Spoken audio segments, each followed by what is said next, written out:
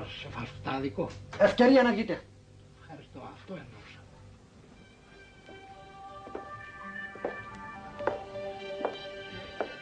Παρακαλώ, μετά από εσάς.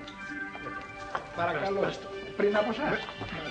Λοιπόν, όπως διαπίστωσες και ο ίδιος, όλοι όσοι εργάζονται εδώ μέσα, αν και έρχονται σε άμεση επαφή με τη ραδιενέργεια, είναι μια χαρά.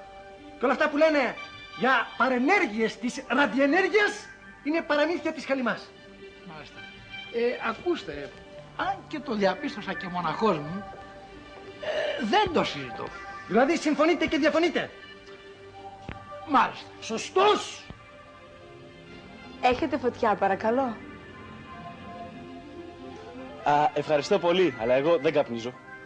Εγώ σου ζήτησα φωτιά, ρε φίλε. Καλά και ντρέπεσαι να χρησιμοποιείς τη φωνή τη δική σου και δανείζεις τη φωνή της κυρίας. Με τη δικιά μου τη φωνή σου ζήτησα. Για κάτσε ρε φίλε.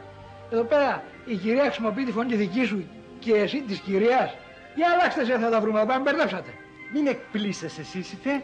Είναι μια απλή και φυσιολογική και ρουτινιάρικη αλλαγή φωνών λόγω ραδιενέργειας. Δεν μου λες παρακαλώ εγώ πώς ακούγομαι. Μια χαρά.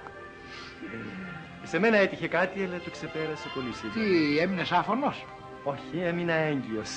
Αν και παίρνω αντισυλληπτικά, βλέπεις, ε, κάνουν ενωθεί ακόμα και στα φάρμακα. Μηταρά μου εσύ. Ένα